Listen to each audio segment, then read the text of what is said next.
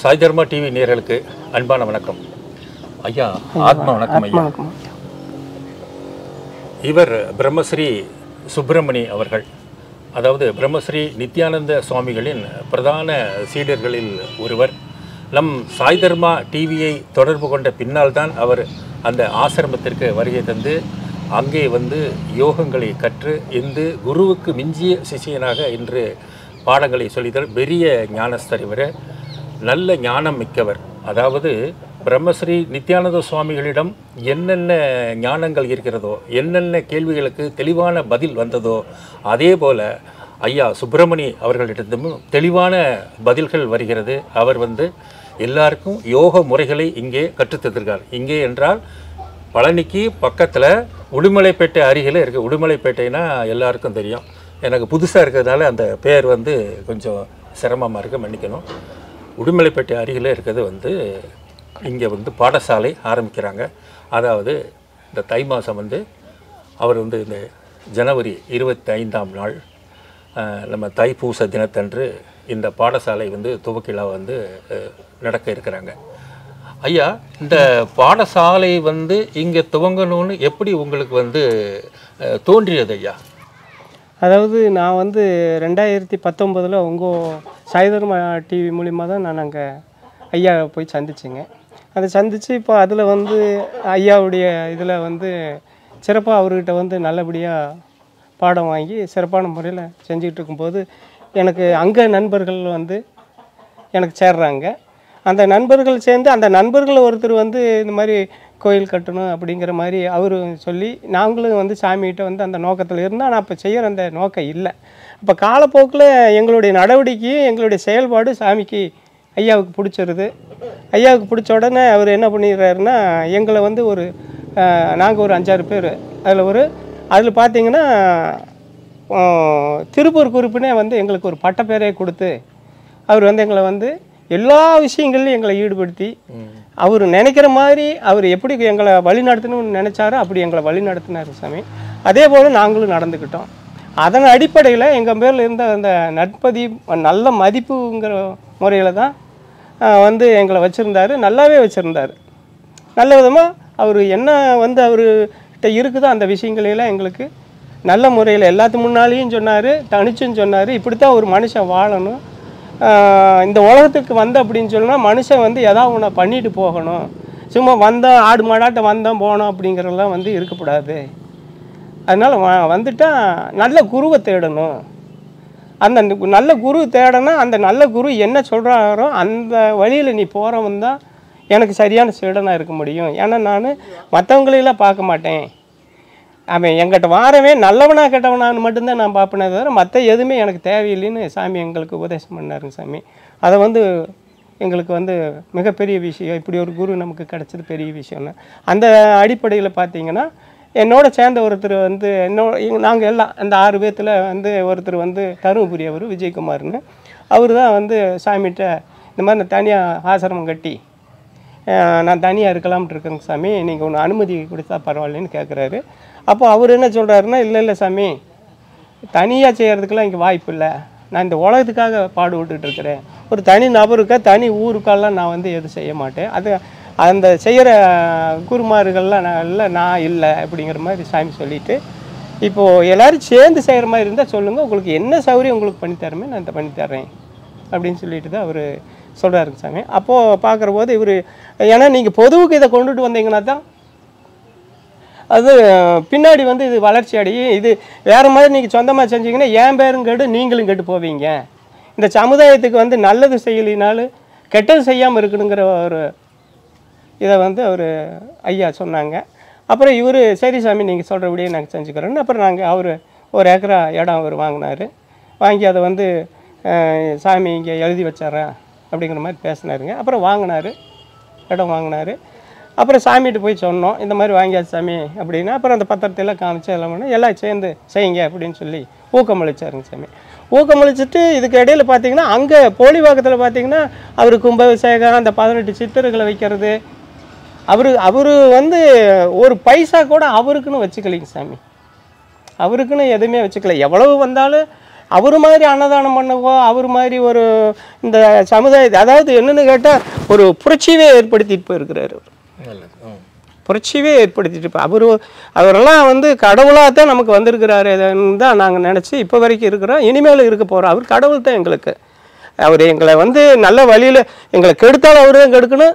நல்லபடியாக வச்சுருந்தாலும் அவர் தான் வச்சுருக்கணும். இனி எங்களுக்கு எதுவும் இல்லை அவர் தானுங்க. அதன் அடிப்படையில் தான் அவர்கிட்ட இருந்தோம். இது வரைக்கும் இருந்தார். அப்போது அங்கேயும் நல்லா பாடுபட்டோம். அவர் சொன்ன வேலையெல்லாம் செஞ்சோம். இதுக்கிடையில் வந்து தருமபுரியில் கோயில் கட்டுறோம்.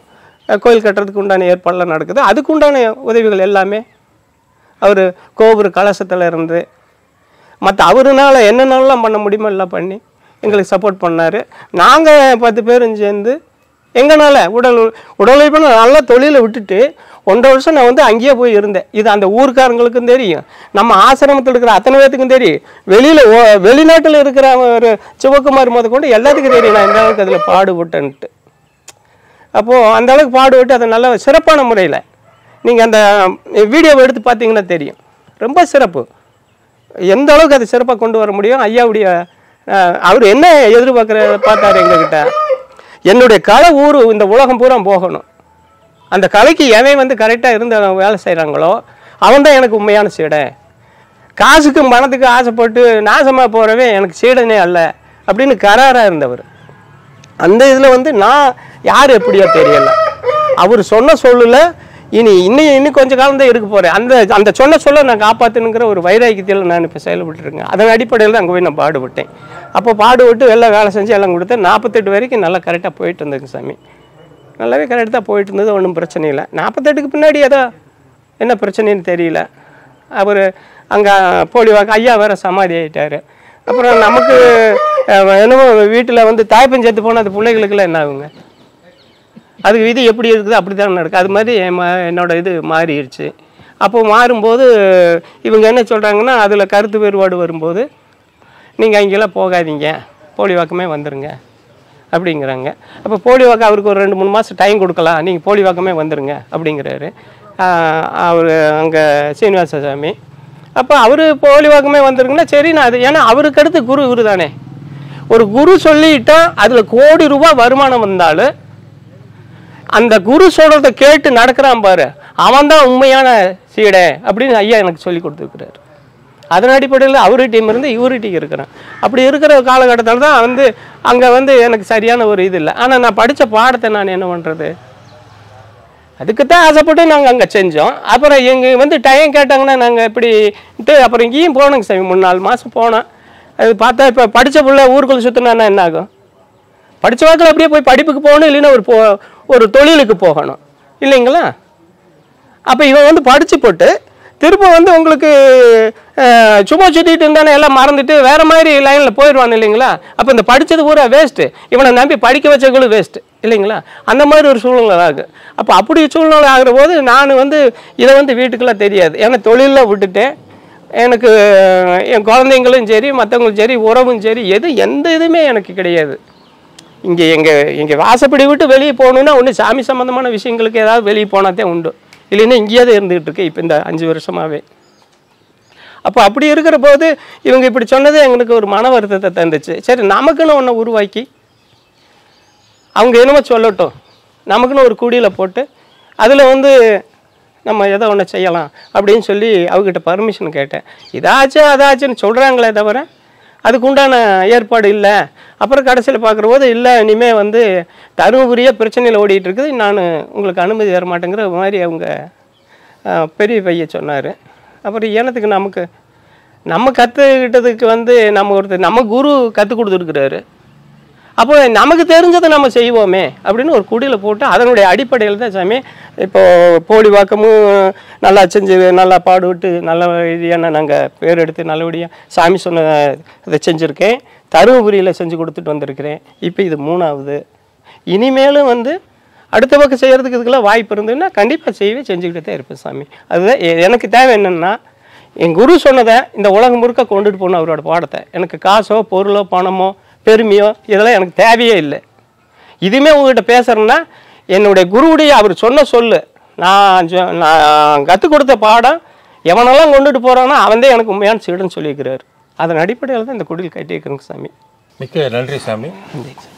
பிரம்மஸ்ரீ நித்யானந்த சுவாமிகள் அவர்களுக்கு மலேசியா மற்றும் பெங்களூரு தருமபுரி அதைத் தொடர்ந்து பிரம்மஸ்ரீ சுப்பிரமணி அவர்களால் முன்னெடுக்கப்பட்டு இந்த கடத்தூர் கிராமத்தில் இவர் வந்து மெய்ப்பொருளை அறிவது எப்படி உன்னுள் இருக்கும் இறைவனை உணர்வது எப்படி என்ற கலையை தன் குருவிடமிருந்து கற்றிருக்க அதை மக்களுக்கு கொண்டு செல்ல வேண்டும் என்று அவர் இந்த சிரமப்பட்டு இந்த காரியத்தை வந்து இன்று தொடங்கியிருக்கிறார். அவரது செயல் வெற்றி பெற சாய் தர்மா டிவி வாழ்த்துகிறது.